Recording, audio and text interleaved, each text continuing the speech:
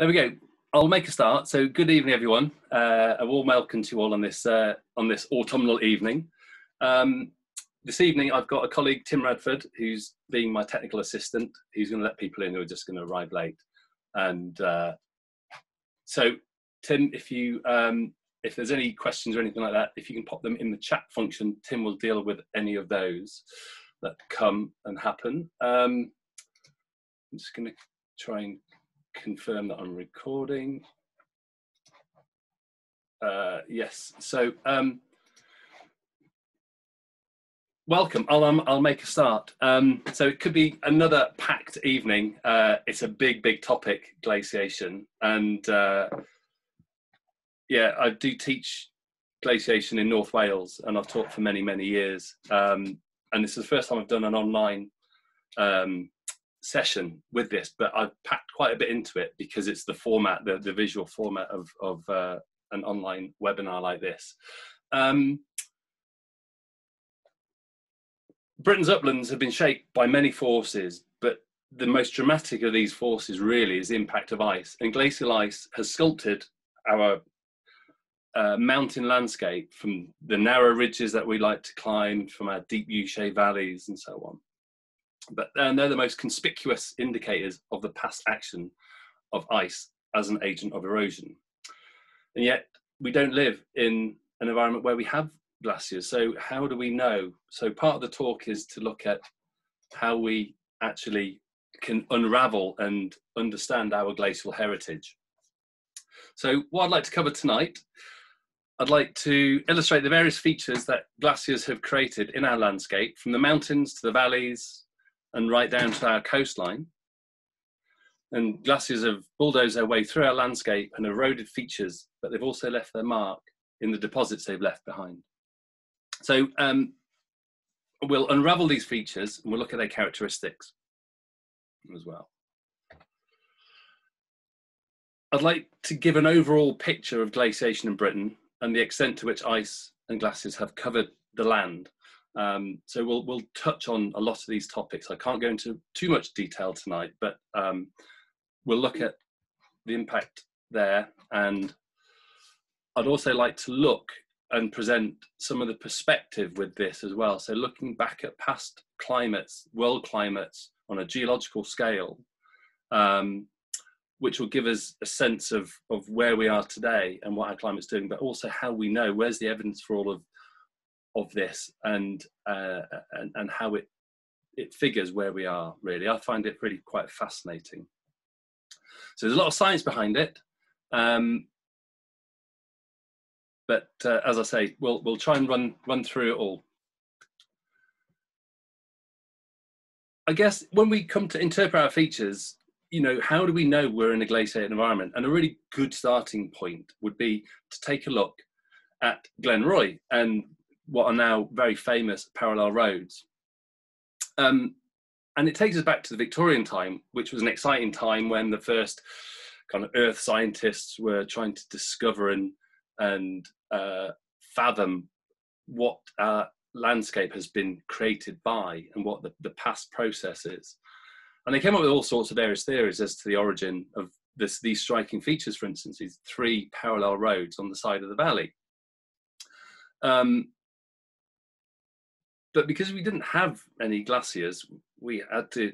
The, these early geologists were trying to come up with their own theories and ideas. So people like Charles Lyell, Joseph Prestwich, and Reverend Buckland, as well as Charles Darwin, were all coming up with their own kind of hypotheses and their own ideas um, to describe and explain these mysterious features.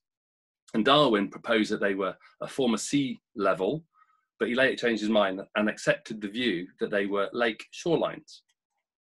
And it was in 1840 that a, a Swiss um, fossil, he was a fossil um, researcher really, looking at fossil fish. He was interested in alpine glaciation. A guy called Louis Agassiz, um, he proposed that much of northern Europe and Britain were covered in a vast ice sheet.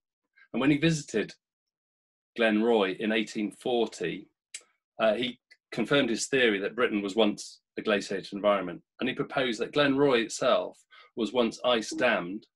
I just show the next slide there. We've got this is Glen Roy, and it's a it's a proglacial lake. So as the glacier, the Spean Glacier, dammed the valley, this lake left evidence of lake shore. And as the ice level came and went, um, and it, it rose and fell, it left this imprint, you know, this impression on the side of the valley. So part of the evidence of, of our understanding, it's an ice dammed valley. Um, and South America in Argentina, Perito Moreno Glacier, you can see the vast glacier here and a proglacial lake. So imagine if that was Glen Roy and it was dammed by that glacier that blocked that water from, from exiting. So it's the same kind of environment that, that you would find. But we also come more closely to my home in North Wales, um, and we look at um, Charles Darwin, who's quite famous in his, his journeys through North Wales. And he um, visited Cwm Idwal in 1831 with an eminent geologist called Adam Sedgwick, and they were looking for fossils and they were looking at marine seashell impressions that were in various rocks in the mountains.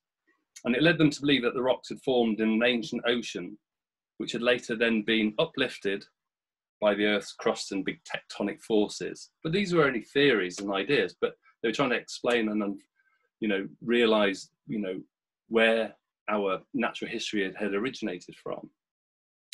And it wasn't really until Darwin had then traveled to South America on his great five-year voyage on HMS Beagle, and he was in uh, Tierra del Fuego, and he, he was witnessing ice carving off huge glaciers into the sea. So he had his first impression of glaciation happening.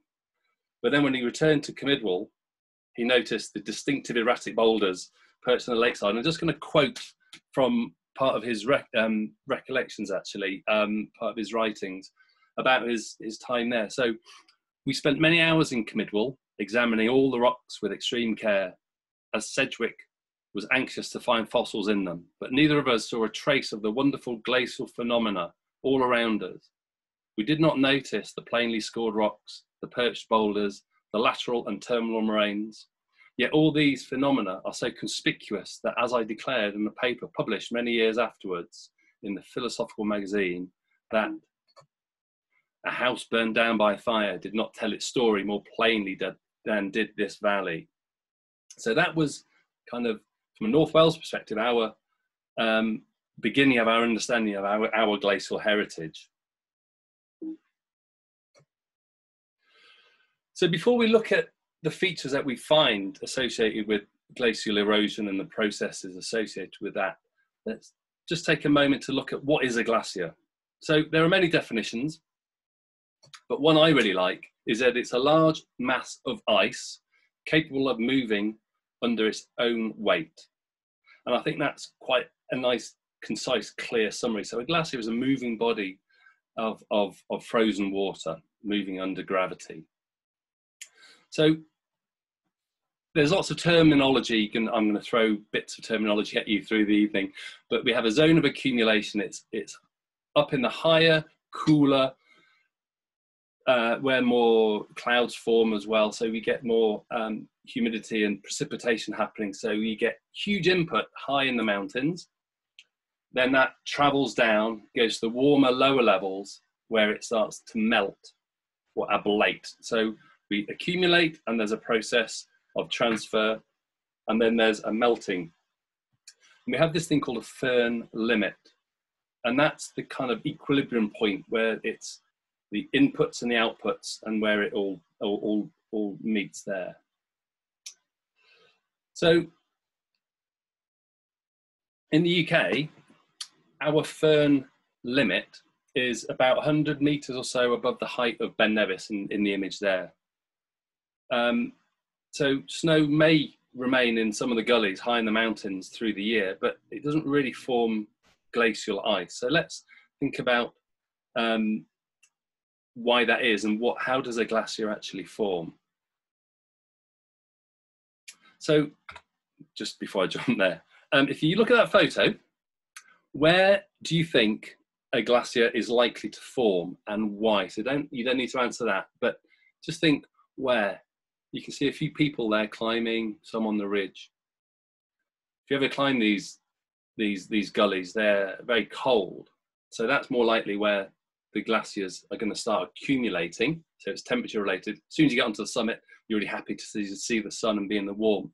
So you're less likely to have them on the south facing slopes, but you are on the north facing slopes. So this little image here has from North Wales, got Bethesda here, Nant Ffrancon Valley, and the Ogwen Valley.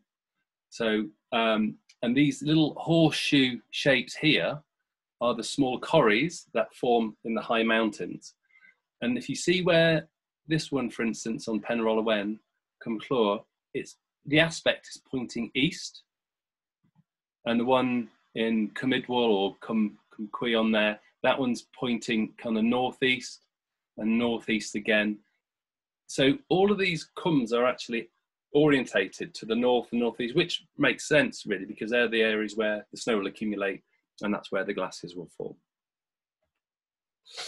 So if we think about the process of how the snow falls and it forms into a glacier, we have our lovely snowflake here with our beautiful patterns. Um, then over time, they get deformed. So the, uh, the snow is transformed to ice through a process um, and of the crystals get bounced around and knocked around. And after a year or so, they form this um, ice called a firn or a neve. So over time, the snow here becomes granular ice, fuses together, and then finally fuses together into a glacial ice, which may take 10, 20 years. Um, but you can see on the next uh, image here, we've got the shape of the crystals, but also the amount of air. So there's more and more compression as that glacial ice forms. So we call a firn or a neve, and it depends on the, the language that we use, but it's the, the formation of this glacial ice. Um,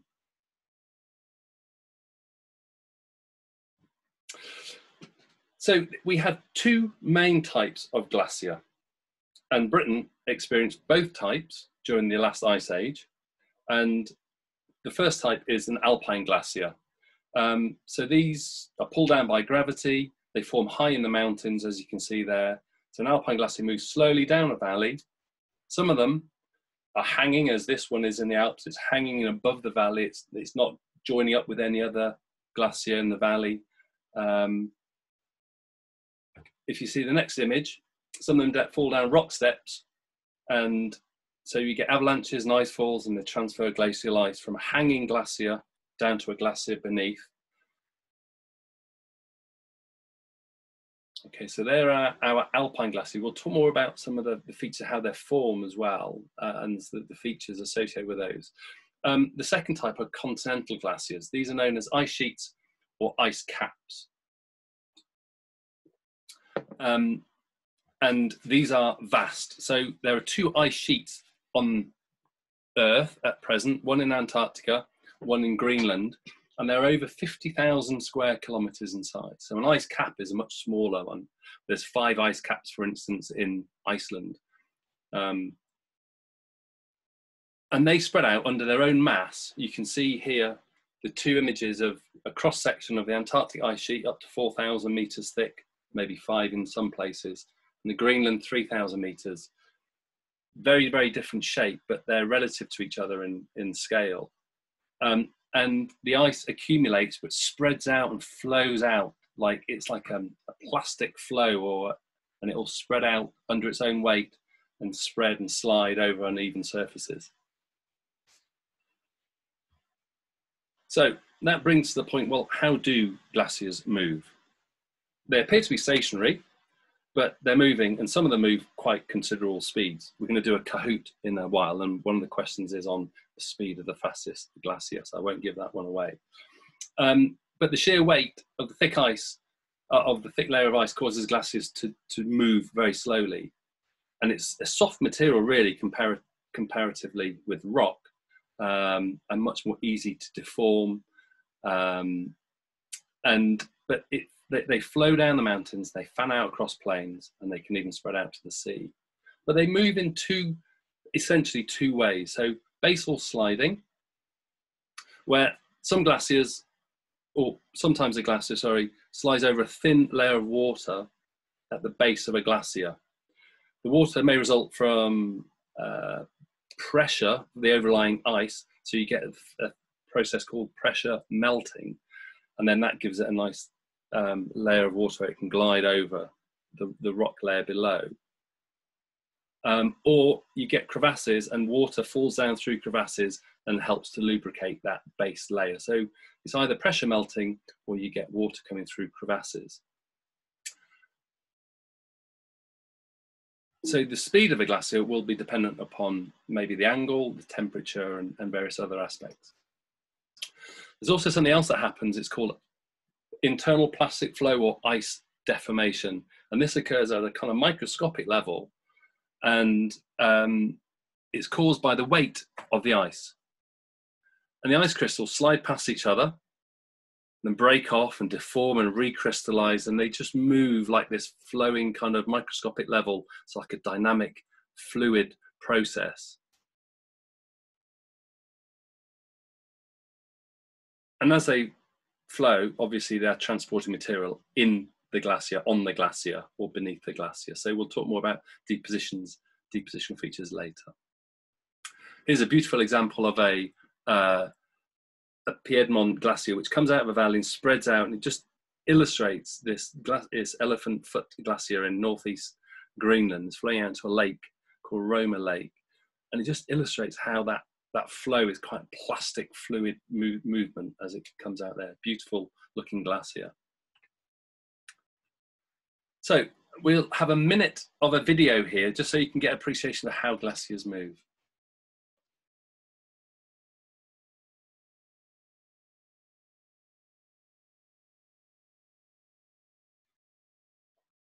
So that's basal sliding, time-lapse photography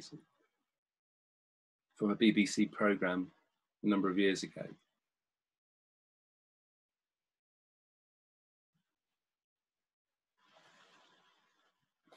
I think it illustrates so beautifully how glaciers move and how, how quickly they're moving as well.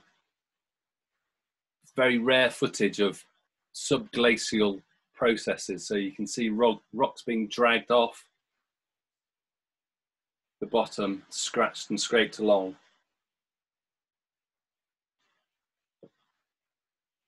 It's the only bit of footage I could find with anything like this. It's, it's a,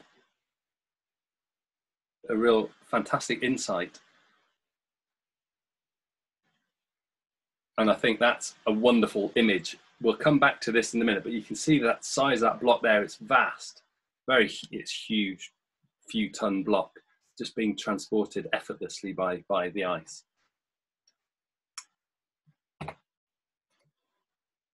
So how do glaciers erode? And there's essentially two processes. One is called abrasion, a bit like sandpaper, rubbing against a, um, a smooth bit of, or smoothing down a bit of wood and the other one is plucking.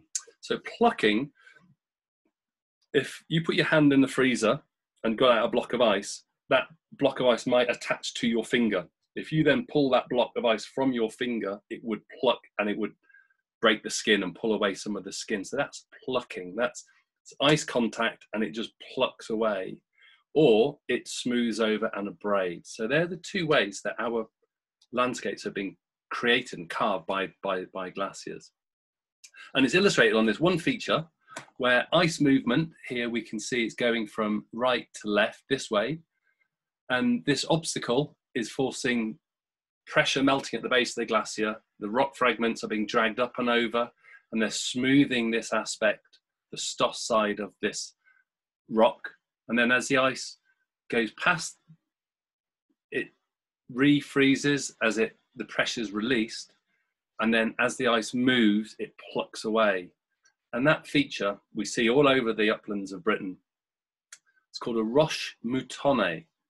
And some of you will know that. I'm not going to give you all the names before you get a chance to, to, to name them yourselves uh, as we go through this talk. So um, you can see here the upstream side, the stoss side, and then the lee side where it's plucked 12,000 years ago, the, the ice left this valley. So this has had present day processes eroding it. So they're not as pristine as they are where a glacier has just been removed. But the moutonne comes apparently from uh, a, the French, and it's when the Whigs, the gentry in the in the 200 years ago or so, had 300 years, the, the French gentry had wigs, but they used this uh, animal um, or, or um, sheep fat to stiffen up the wigs. So they were called the moutonne, and, and uh, Saussure, Benedict Saussure, thought they were kind of like the smooth and the ruffled sides of a of a wig, and so we called them the rock version of this moutonne. Um, hence, that, that's where the name came from. And Saussure, of course, was the he put the first Tour Mont Blanc together, and he paid for the first ascent of Mont Blanc as well. So very much associated with with cartography and the mountains and the Alps. There's also evidence on the minuscule scale of, of how glaciers erode, and we've got here features of uh, scratch marks and these parallel scratches where the ice has been dragged along or the ice has dragged rocks along these features are just in the Nant Ffrancon Valley. In fact, all of these three features are in the Nant Ffrancon Valley. These features are called striation. So they indicate the ice movement, the direction of flow. So other classic features that we get of glaciation, um, here's Helvellyn. Um, the feature I'm looking at is this great big feature right here. And it's in Welsh, a cum, corrie, a cirque or a tarn. And it's red tarn, obviously, and striding edge there, Swirral Edge. So how do they form? Well, at the back wall, this is a cross section, the steep back wall, you've got plucking, that ice is plucking the rock, and then as it moves down, it's there's this rotational movement and it's abrading and it causes this rotational movement causes a depression and you get either a rock clip or you get glacial material that dams a lake. Doesn't always happen, but that's the formation of a cwm. Sorry about that selfie there, but the next image is, they can be quite exciting and fun to, to play on uh, in alpine style, but a very narrow knife-edged ridge, the Cuillin Ridge here, are fantastic examples of, and of course the Snowdon Crib Goch are an arête or ridge or crib and they form um, a, a, band of rock essentially, uh, which separates two valleys or cwms. The next classic glacial feature of erosion will be this image here, which is an iconic mountain in the Alps called the Matterhorn. And right next to it is the um, Dent d'Hérens. So you've got the, the French word of dent, like a tooth, and then you've got the German word a, um, a horn, and they're both um, this feature that we get the Mont Blanc de Cheilon as well in the in the Swiss Alps. But of course, back in the UK, we've also got these features here where we have glaciers on back on the backside of of the uh, the mountain eroding away at different sides, and they're called pyramidal peaks. So this diagram just illustrates that we have the arête, which would be a ridge that's running between two of these corries or cirques or tarns. And we get pronounced horns or we get slightly lower pyramidal peaks, but it illustrates the, the, the impact of glaciation on the landscape. Another feature that we associate, but not with the alpine glaciers, but with um, the, these valleys, you can see the shape of the valley here, um, formed either by a continental ice sheet or by accumulation of, of alpine glaciers. So you can see here on the Grey Glacier in, this was in Chile, in uh, the Torres del Paine, uh, you can see a, an alpine glacier flowing down and joining this great big valley glacier.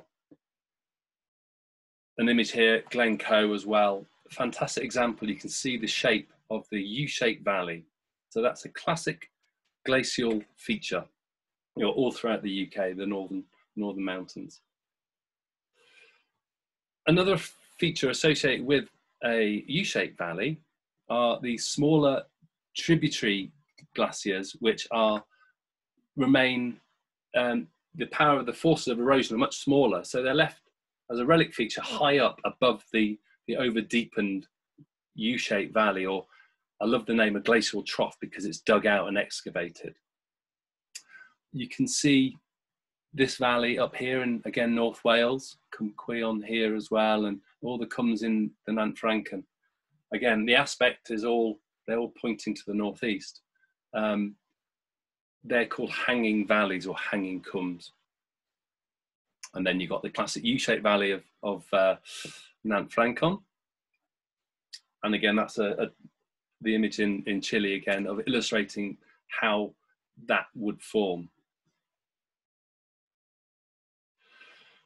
Obviously, I'm living in North Wales, and I've got lots of examples of these uh, features from from this this this mountainscape. Um, we've got the classic U-shaped valley, but the feature that I'm really interested in is this feature here. So the line or the ridge is dropped and it's cut down, it's curtailed, it's shortened. This side, the ridge line is coming down, the spur has come down, then it's been cut. This line here has been cut and shortened. Glencoe again, great examples of how these ridges have been cut and curtailed, and that feature is called a truncated spur.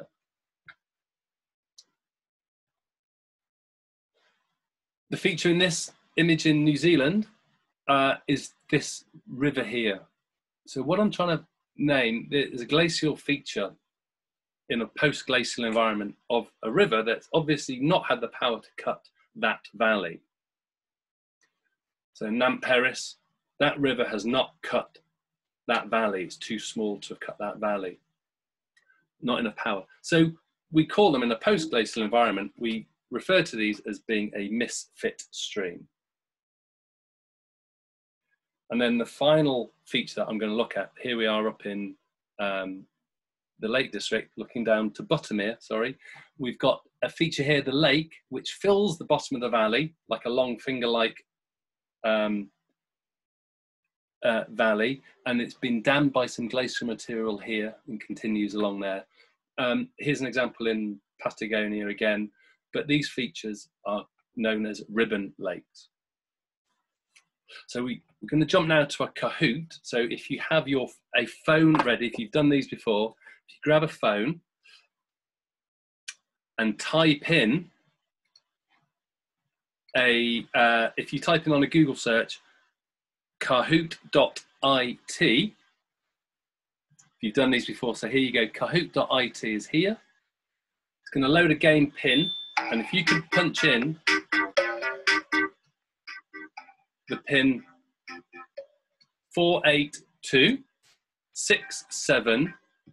4826712, a few, obviously people are, are adept at this nowadays, so that's fantastic. So if you're not so interested in doing Kahoots, then uh, we'll be here for a few minutes and then um, you can play along or you can just observe.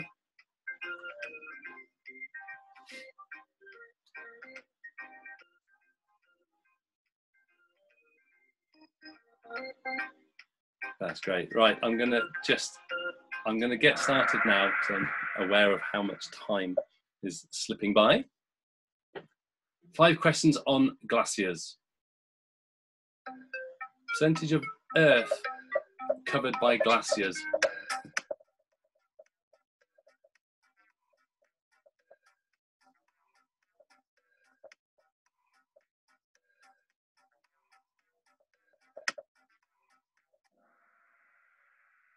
10% of all the land on Earth is covered by ice. It's phenomenal.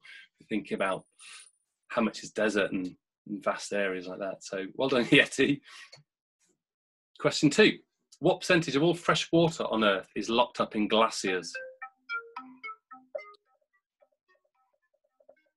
Again, multiple multiple guess really, but how much of our fresh water is locked up in glacial ice. 70% of all fresh water on Earth is locked up in ice. It's phenomenal, isn't it? Well done, Sharon. The world's longest glacier is in Antarctica, but how long is it? It's vast. It's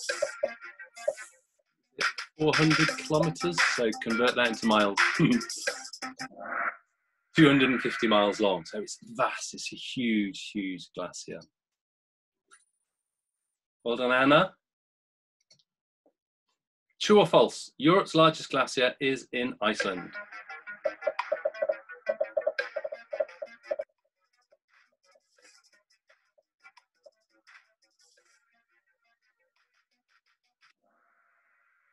Is true.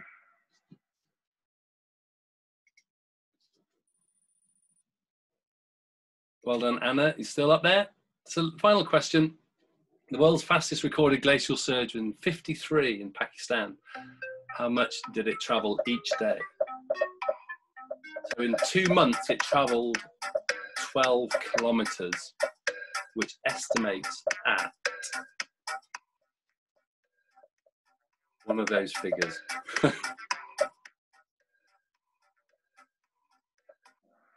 110 meters. So cool as ice. Who's cool as ice? Four out of five. And Harad. Well done.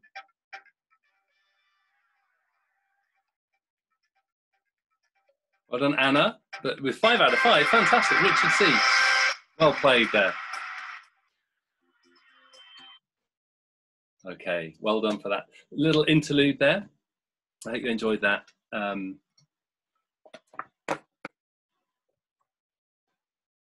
I was just thinking about that question actually about the longest glacier. No, it is right. I'm, I'm sure. I was like, is it or not? No, I just had a doubt then for a second. Anyway, if anyone corrects me, then stick it in the chat. But the longest glacier in Europe is in Iceland. Um,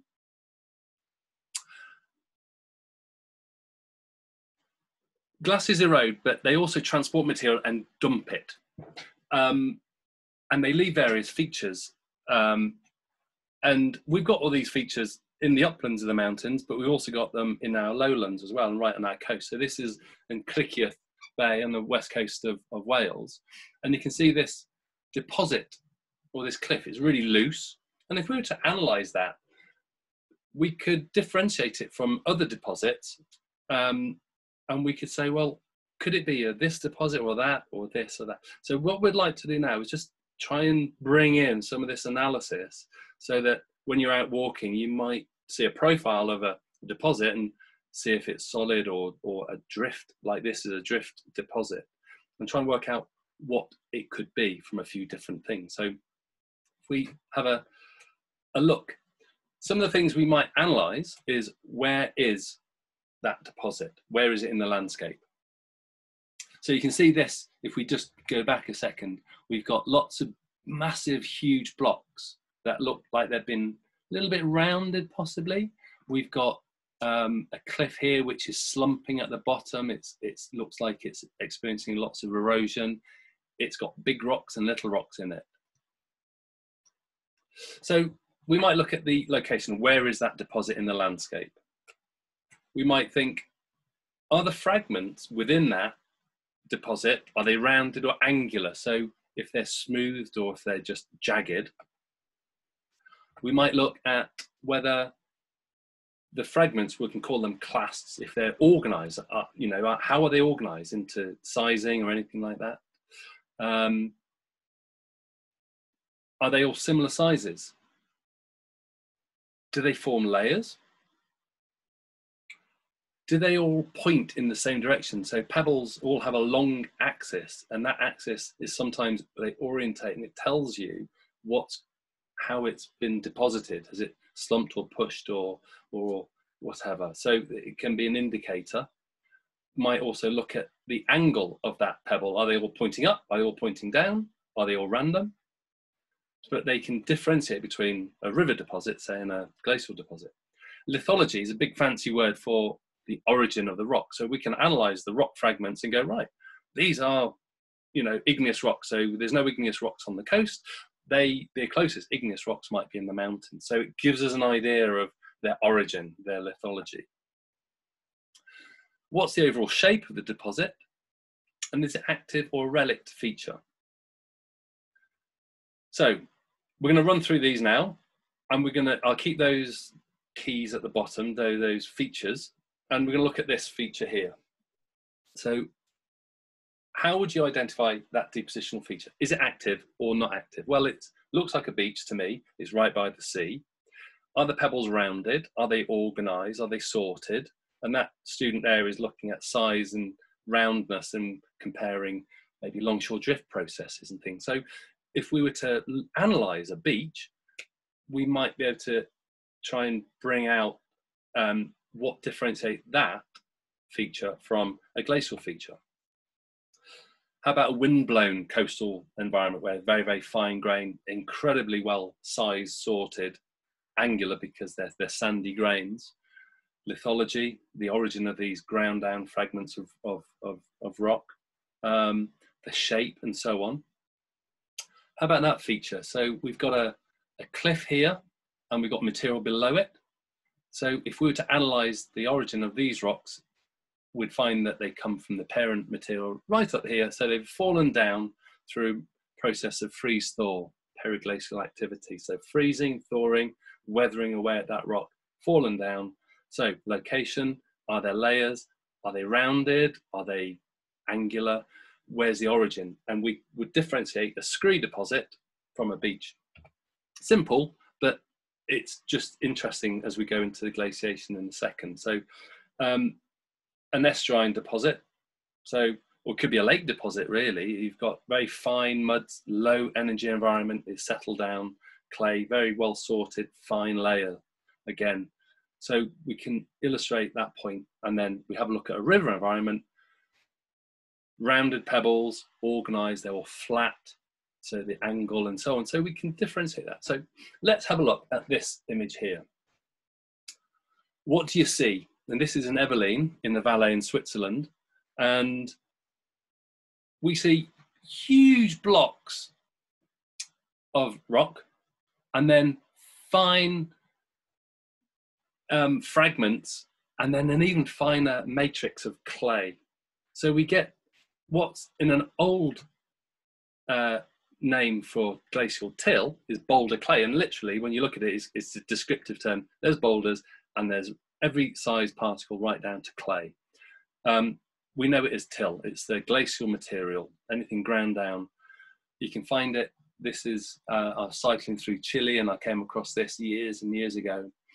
Didn't know if I'd ever use it in, in the slideshow, but I took a photo of it. Um, and then just down near where I live in the North Wales coast near Bangor, we've got a glacial deposit here with big boulders and something you might notice is the lower level is grey and the upper level is red. And the lower level is from the local origin of that rock is North Wales, whereas a lot of the rocks that come in the red layer have come from Northern England and Scotland. So we'll come on to our glacial history in a minute. Features that you see in the landscape. In Langdale here, these hummocky mounds, uh, in Cwm Idwal, we've got these hummocky mounds, and they're made of glacial till, and they're called moraine. And this moraine at the front of this lake, so behind this lake, there's a glacier. The glacier's gone as far as this terminal moraine and retreated, and that moraine has trapped that proglacial lake.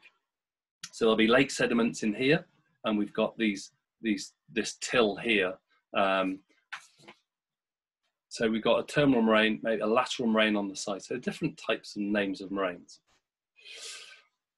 Two huge blocks of limestone also sat on limestone, but where is the origin of these rocks? Is it, have they rolled there? Have they, have they, are they from there themselves or have they been transported there? These are famous in North Yorkshire, the uh, Norber erratics, and they're greywacke rock and it's come from Northumberland and it's sitting on top of limestone pavement. Obviously, it's not rolled there, it's, it's been transported. And it's been transported up to 400 meters and dumped on the limestone um, pavement there. So it's incredible the power of ice to transport. And these blocks are known as erratics. So they're big individual blocks that have come from another valley, another source. So with deposits as well, we get lots of meltwater deposits. So where glaciers melt and they ablate, we get high energy, low energy environments, but we get all the material being dumped and deposited, and they form different features. Um, so that's a low energy lake environment. Again, uh, Switzerland. So that was the Solheimsjökull in Iceland. This is uh, the Dies, I think it's the Dies Valley. Uh, well, it's the Dies Valley, but the Dies Glacier in, in Switzerland. And you can see the proglacial lake here. So the, all this material is on top of the ice. That's on top of the glacier. And then you can see the dirty ice here, but then the, the beautiful blue with the, uh, the sediment um, on, a, on, on a lake on the side of a glacier in the Alps. So meltwater deposits.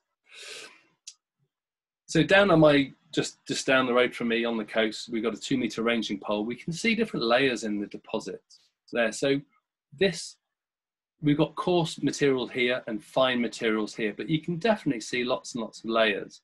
So these features that cross down like this indicate a high energy environment, a high energy river and riverbed environment called a fluvio-glacial, so a river glacial deposit.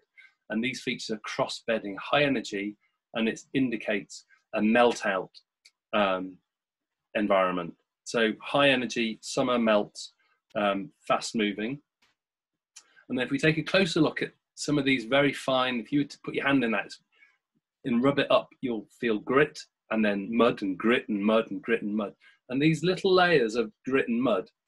So mud would be laid down in very low energy, but grit will be transported and deposited in a high energy.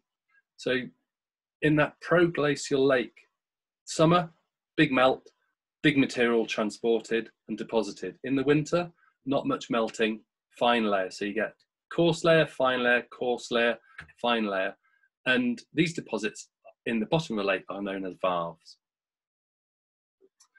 Another um, feature that we get in our landscape is something that happens underneath a glacier. And they, classic examples in Derwent Water, know, Keswick, these lumps in the lake here, these rounded mounds, they're called drumlin from the, the Gaelic for rounded hill. Droom means rounded hill. So they're formed under the glacier and ice flows over and it leaves this, it's almost like a, uh, an aerofoil shape. And we can see these in, in our landscape. We can pick them out. Glaciologists have picked out all these drumlin fields. Glasgow's built on them for instance. But this image here illustrates how many there are in the British Isles, and there's something like 65,000 drumlins across northern Britain and the British Isles in Ireland as well. So it's a phenomenal extent. Another feature that we get underneath the glacier, made of sand and gravels, are these long sinuous rivers which form under a glacier where there's melting. So it's like a river and they form these these long uh, flows um, of stratified sand and gravel. So this is a, a sand gravel pit just down the road from me, and they're stratified layers, and they're called esker. But I don't want to talk massively more about all the depositional features. There's lots and lots of evidence of all of these, but it's by analysing the deposits that you can see if it's till or if sands and gravels um, and so on. So this local one here is an old disused quarry for sand and gravel. So it's great exposure. So to get some perspective on glaciation, we, we need to look at some of our old features. Now, sea level change is not a modern phenomenon. Um, this lake in Loch Tarbert, here we've got um, relict features. These are old um, beaches that are relict and are much higher than the current sea level. So we have an active beach here, but these are relic beaches and they indicate where the sea level once was or where the land has changed. So there are two changes that we get. Either the land will rise and fall or the sea level will rise and fall. So sea level rising and falling is eustatic, but when the land rises and falls, it's a isostatic. So huge volume of ice pushing down on, on Britain has been released and the land has rebounded, and that's isostatic rebound. So these beaches are a response, a, um, a geological response to less pressure, and we get these raised beaches. In Seljalandsfoss uh, in Iceland, that flat area where the people are walking is an old seafloor, and you can walk behind that waterfall, but that waterfall was cut by wave action from the sea. So it's not been cut by river processes, but by coastal processes of undercutting erosion. So it indicates the raising of the land after the ice has, has been uh, reduced over that land. But there's also evidence from uh, coral reefs because they always grow at the, just below the tidal level. So we can look at sea level change where we find old relict. Um, we'll come back to that in, in a short while, but we get an idea of, of where sea levels were once higher or lower, uh, depending on the climate from the past. So just as an idea, past global sea levels, during the last ice age, we're going to come to this in a minute, the greatest extent of the ice is 20,000 years ago. The sea level was 130 meters lower than today. In the last warm period, 125,000 years ago, it was six meters higher than it is today. But 80 million years ago, it was anywhere from 170 to 250 meters higher than current level. So very, very warm climate 80 million years ago. So if we look at Ice Age Britain, um, we are currently gripped in an ice age. Believe it or not, we're in a warm period, but we're in an ice age, but in a relatively warm period. And it's known as the Pleistocene era, and it began about 2.6 million years ago. But the term ice age is a bit misguided because it, we talk about the ice age from the early kind of scientists who believe that there's only one recent ice age or one really recent cold period. So we talk about the ice age, but really we should talk about glaciations and or glacial events, cold events, warm events, and a cycling within an ice age. But permanent ice began to form in Antarctica something like 40 million years ago, but then it became isolated as a landmass over Antarctica and started to cool because it was thermally disconnected, surrounded by the roaring 40s, and it got colder. And the colder it got, the more it grew white and reflected more sunlight. But also, something really interesting happened that the um, landmass of North and South America joined, and it changed ocean currents and it meant that tropical waters came up to northern Europe, and these tropical moist waters um, just rain down lots of precipitation. So that the ocean currents and a landmass on Antarctica bring about this ice event. So this last ice age, called the Pleistocene, we're in this current Flandrian interglacial between cold glacial periods. And it began about 11,500 years ago But our most recent glaciation, and that image depicts it, um, where ice basically goes from Hull and Grimsby right through Derby and down to Cardiff. That's as far as it got about 20,000 years ago. But the ice was maybe a one and a half kilometers thick. Um, and that's known as the glacial maximum. It came down here, the glacial maximum. But ice actually came down to North London 400,000 years ago in a previous glacial. And there's evidence of that um, in there's Till in London when they were digging the the uh, um, the uh, in the Victorian times they were digging the, the, tunnel system and they got to North London Finchley Road and they saw glacial Till. So our climate has gone in the last half million years. We've got a little warm period, a long cold period, a short warm, long cold, short warm, long cold. So these are glacial periods. These are interglacial periods, and we are now in a warmer interglacial. So this is part of a two million year process, and it's at a short um, period within that, uh, you know, a short warm period. These glaciations are much longer. The last one was lasted for about 100,000 years but the coldest point, that glacial maximum, was 20,000 years ago. I'll talk about how we know this, how the scientists know this. Um, in a bit. So, woolly mammoths. There are 50,000 fossilized tusks have been found in the bed of the North Sea. So people have been dredging them up, fossilized bone, 50,000. So that's a phenomenal number of woolly mammoths that lived in Britain until 14,000 years ago. They died out about 4,000 years ago, but it's evidence of a very, very recent, very cold period. But then at the previous warm period here, 120,000 years ago, hippo bones were found under Nelson's column, actually. So when they were excavating, so we've got hippos and we've got a savanna environment with lions and hippos in Britain in the last warm period. And now we're in this current warm period.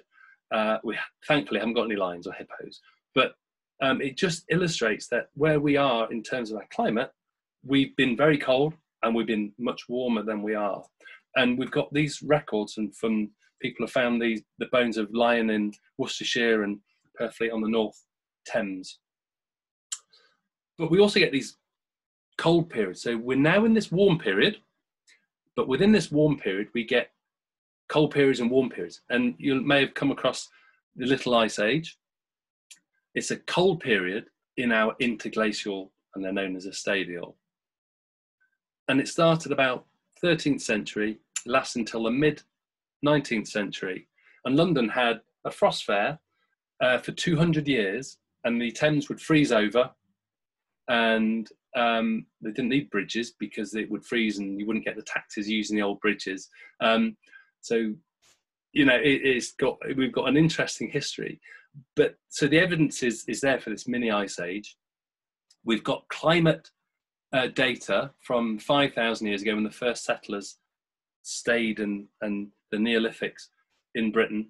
We got this longish warm period, cold blip, and then in the Dark Age it went cold, then it went warm in the medieval time, and then it went cold again during the Little Ice Age. So evidence we've got from grape harvests varying in 1488 in October the 17th, seven years later, about 40 days prior to that. So that was obviously a warm period, and this was a longer. And we have the same um, today we have uh, the grape harvests and flowers come into flower at different times of the year. So the climate, we've looked at it from the last ice age. We've looked at it from this last little warm period. So different timescales. I know we're jumping quite a lot, but if we go to the Earth's history, the Earth has experienced, from what scientists know, five cold ice houses in its four and a half billion year history, known as five ice ages, and we are currently in one. Cold climates are not common, so 15% of the world's history is represented in these cold environments where we have permanent ice on one or both of our poles. So, icehouse Earth, and then we've also got the opposite, which is greenhouse Earth, which represents 85% of the history. So how do we know this? We've got deep sea sediments and lake sediments, and we've got relict landforms. I'm going to skip over this because we are running out of time, but I can share this presentation with you later. But we have thematic ancient um, history of, our climate. Um, we have evidence of rocks being dropped off icebergs into lake sediments and marine sediments like drop stones. So that's evidence. And if you go to the Sahara Desert, you'll find ancient till. So you'll find ancient glacial till in the desert, which is kind of bizarre, but it illustrates that the land was once over Antarctica, but also much colder environment. And today we in the Sahara, we find the evidence of glaciations. And then again, we have the sea level and the height of where the um, the tropical reefs form. So we have these things called a paleothermometer. In essence, it's all to do with oxygen. The scientists understand that there's different types of oxygen, light forms and heavy forms. So a light form will evaporate quickly and fall as rain and run off into the sea. But in a cold environment, that light form will land in ice or fall as ice and condense and fall as ice and be trapped so that the heavy oxygen will be in the water. Little animals um, actually build their their their shells from calcium carbonate and they use the oxygen. So the ratios of the heavy to the light indicates through sediment sampling that ratio indicates the past climate. So it's all to do with different amounts of oxygen. complicated, but ice cores as well trap air and they look at carbon dioxide. And again we get these traces these ancient paleothermometers which illustrate um, and help scientists understand our glacial past like that. So again another graph we've seen this earlier but in a different form. But you can see it talks about marine oxygen. And so that's our paleothermometer It helps build a record of our past. I don't want to dwell on it one thing I will show is this layer is an Icelandic volcano uh, that erupted about 50,000 years ago and it was recorded in the Greenland ice sheet. I'm to not haven't got time to show this video, but I'll leave I'll leave this for you to um, observe uh, and I can share that with you. The final thing I just want to mention the Milankovitch cycles. So these are kind of eccentricities of our orbit in space. So we go closer and further from the sun on a 100,000 year cycle, which can, it doesn't indicate that an ice age is going to happen, but it certainly has an impact on them and the regularity. This Milankovitch was a Serbian mathematician and a climatologist, and he, he kind of came up he 100 years ago or so, and he studied um, the effects of our or our eccentric orbits. So there's phenomenal um, knowledge that he created, but he understood that the Earth tilts as well. So we tilt a few degrees from 21 to 24 degrees over a 43,000 year. So the closer we are to vertical, the more impact we're going to have by the by the effects of the solar radiation. Another of these orbits that um, he uh, identified was something called precession, which is like a wobble. So we wobble, we tilt, and we go closer and further from the sun. And these combined, and they do have an impact on glaciations and global climates, but really their impact is more of a pacemaker, I guess, than causative. But Milankovitch, he came up with these kind of ideas. So um, we've had a whistle stop travel right the way through um, glaciation, our glacier history, some of the causes and the evidence of glaciation. I'll share the presentation with you at the end. Um, there's, I know there's a couple of questions. Uh, are there good books? I can answer. Are there any good books on the topic you would suggest? There's one I've got, uh, Ron Redfern, called Origins, which is fantastic. I love it. It's a table, coffee table book. Um, why does Scotland have taller mountains than say North Wales? Paul Gannon is perfect to answer that question for you. Um, who's giving a talk next week, as it happens, on uh, the Alps and the formation of the Alps. Um, if there's any questions that come in, and I haven't got time to answer them, then uh, I'll answer them and I'll send feedback to you in an email in a bit. But I'll just, before we finish, two more webinars in this series Geology of the Alps, uh, Paul Gannon talking next Thursday, and then I've got John Roberts talking about archaeology in the mountains, uh, which will be both of them fascinating and stunning. So, the same time, next two weeks. I'll be running workshops in 2021 if you want to get to do a day like this, but in the mountains, then I do glacial workshops. Um, I keep plugging my cars that come out. I'm going to do a very, if you have two minutes, I'm going to do a quick giveaway for a pack of cards. So if you would like to win a pack of my brand new playing cards, I put all your names into here and I'm going to give it a spin. And one of you is, if you give me your address at the end. Ooh, looks like it could be Heather Oley. You just won a pack of my brand new playing cards. Well done, Heather. Um, and then just finally, I've got a new feedback. I've got a couple of questions, and um, if you have time to answer them, if you type in on your phone again, menti.com on a Google search or a web browser search, type in menti.com and a code, and there's two questions about what you what you've got from this webinar. So if you enter the code 5892891, I just would really appreciate your feedback. So one thing, what did you learn? So that code um, is at the top of the screen here. It's 5892891. Looks like something went wrong possibly there.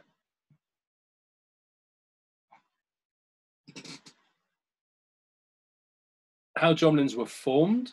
How fast can glaciers move? Um, there's one in Iceland moving at 40 meters per day. The one in um, Pakistan was moving at 112 meters a day. How drumlins were formed, subglacial.